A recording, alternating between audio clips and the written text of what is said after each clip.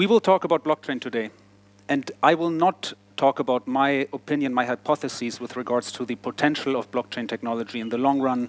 Uh, I will not talk about my research, what we have found out by means of surveys about the feasibility and, and industry perspective on the applicability of blockchain. And I will also not talk about cryptocurrencies and the valuation, the hype you have all heard and seen about this, right? Rather, in the theme, according to the theme of, of rethink, I will talk about more of a generalized framework and how to think about blockchain, firstly, and secondly, uh, how to think about the transformative potential that blockchain can have more at a, at a macro level. At the end of this talk, I would like the audience to be able to answer four questions. Number one, what is blockchain and why should I care? Number two, blockchain and cryptocurrencies, are they the same thing? Number three, is blockchain really a product? And number four, are all blockchains made alike? Number one, what is blockchain and why should I care? Blockchain, like the internet, is really a process, a, a protocol that has built-in robustness, right? When you look at the internet, and I will go more into this later, the internet is really a transfer protocol for information, and we look at blockchain, and it's about the transfer of value. Transfer of value. So when we go into it, right, like how, how does this happen? With blockchain, one key thing to understand is that all data is transparent. You can see all data that is on the blockchain. If we take Bitcoin, for example, you go out now, you participate in the network, you can see literally all transactions that have ever occurred since the beginning of, of Bitcoin when it was launched in, in 2008. And this very fact, the fact that you have transactions that are organized in blocks that are visible to each participant of the network, you get two things. Number one, you get uh, the absence of a single point of control because everybody has the same access to the same data. Number two, you avoid any single point of failure. Very important. In addition, when we talk about blockchain technology, a key consideration is consensus. How do all the network participants agree on what the state of the network is? And you can think about blockchain really in the realm of cryptocurrency as a self-regulating digital ecosystem for value transfer. You have essentially periodically with, with Bitcoin, every 10 minutes, the entire uh, network agrees on where we stand in the network. And the result, the, the two properties that really result from that and that you, know, you should remember and that are of, of relevance when you think about how to think about blockchain and what it can be used for is number one, the notion of trustlessness, and number two, the notion of immutability of the data stored on the blockchain. And we say immutability for full transparency, blockchains aren't really immutable. They're just immutable for all uh, practical intents and purposes. There's no corporate entity, there's no nation state in the world today that has computing power in excess of you know, the, the larger blockchains and could alter the network.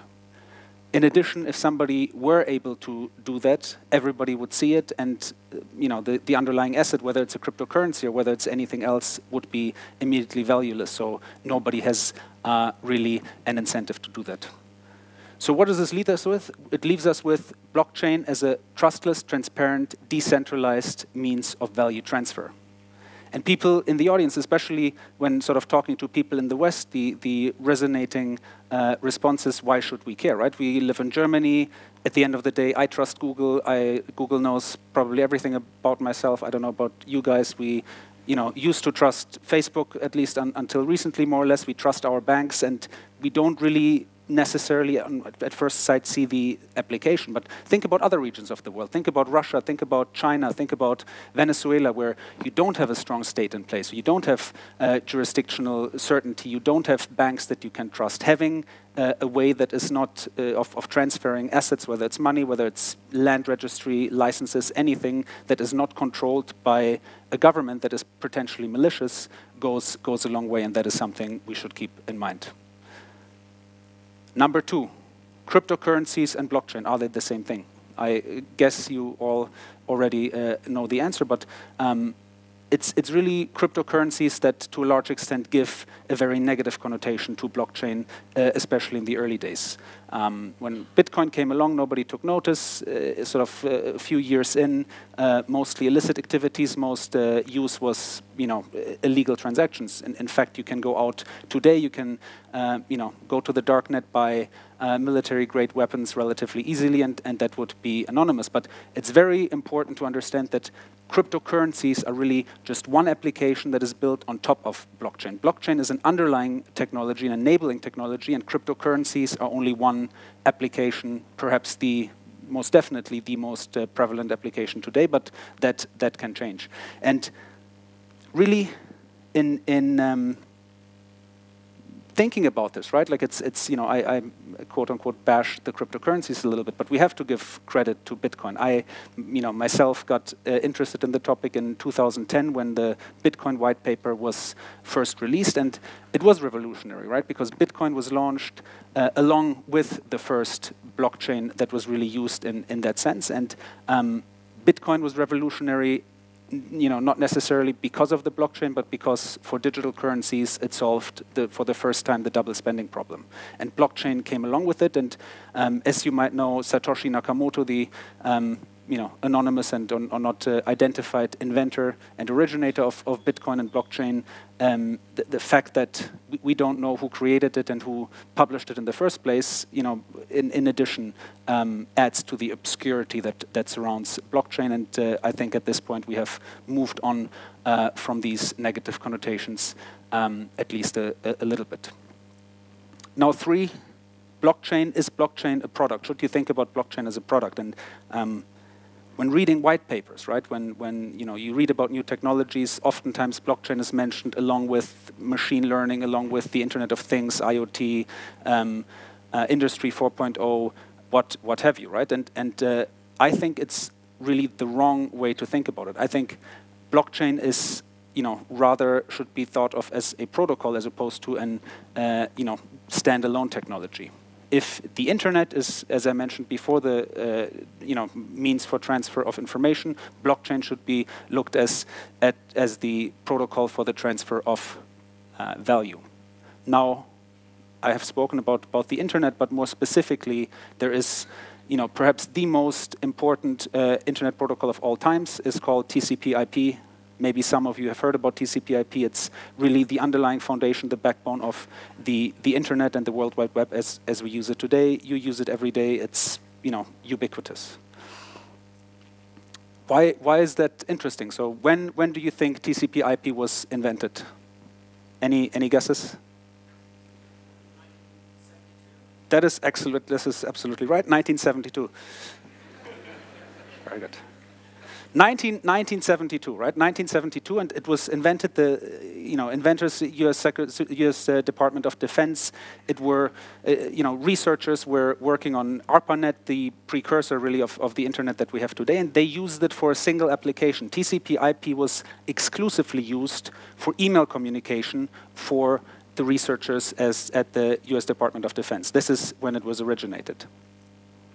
And TCP/IP, just you know, very briefly, whereas before you had something called circuit switching, right? If you wanted to uh, connect two computers, you had to uh, essentially circuits had to be switched, uh, switched to uh, connect these two computers to establish a connection. And with TCP/IP, essentially all information that is to be transferred is broken up into packets. You talk about packets, and it doesn't matter what route these packets take. They're encrypted, they know where they have to go, they know how to reassemble themselves, but it essentially abstracts the uh, value transfer from the underlying hardware, right? The underlying cable, if you want.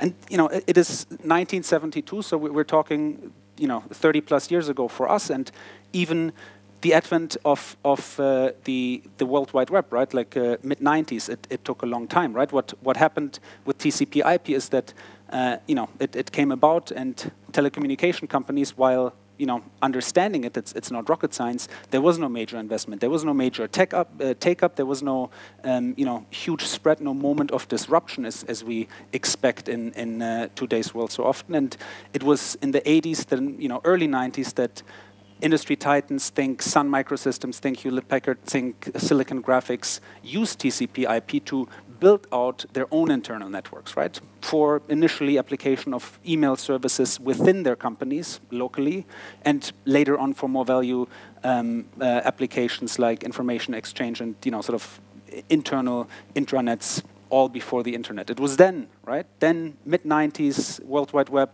um, that really led to the, the growth. Hardware and software was provided quite quite rapidly at that point, and um, you know you know the rest of the story. Net, Net, Netscape came along, pioneered the browser. Uh, information available on the internet, as contributed by the users, grew exponentially, and ultimately we have uh, had companies like Yahoo and we have Google today that, that help us navigate that information, right? Why, why big, big detour from, from blockchain, but why is this important, right? If we look, if we look at blockchain as a protocol, as opposed to a technology, a disruptive technology, you, you can think about it a little bit differently, right? Like you, you see, you had TCP IP, information exchange protocol, early application, email, World Wide Web 20 years plus later. Now, switch, switch to the blockchain world, right? Like we have blockchain, we have the early application, cryptocurrencies. And the question, the natural question that you will probably ask now is, is my opinion that it will take decades for blockchain to reach its full potential. The answer is absolutely yes. But I think the question that is more interesting to ask is not you know, how many years it will take for blockchain to reach adoption or broad adoption or whatever that means, but it's really you know, as opposed to saying where can we fit blockchain as a solution to existing problems, it's really asking what problems can be solved. What is the quote unquote killer application that uh, the World Wide Web was for TCP IP that potentially can be enabled by blockchain? Number four, are all blockchains the same? And this is really for the audience awareness, right? When we you know, talk about blockchain, when, when people talk about the uh, notion of, of blockchain uh, trustlessness, transparency, and, and decentralization, the type of blockchain that people really talk about is a public permissionless blockchain. There are four types of blockchains, private and public blockchains, permissionless and permission blockchains, and there's really this one flavor that has all these attributes. And as I mentioned before, because blockchain is not a product, it's not something that you can easily fit on top of something else, what, what we have seen is the emergence of concepts like private blockchains that, from my perspective, quite frankly, don't make any sense. If you have a technology that is supposed to enable trust between parties that don't trust each other, making it private and you know running a blockchain in internally, you know, at, at least not not. Uh, as, as apparent of a use case um, as some of the others. And I'm not arguing that there are no use cases for this, but at least it's uh, a little bit further off. So in conclusion, blockchain, trustless, transparent, decentralized value transfer. Cryptocurrencies are only one application built on top of blockchain, and we should look for more. Number three, blockchain should not be looked at as a product, but rather as a protocol, and yes, adoption will take time.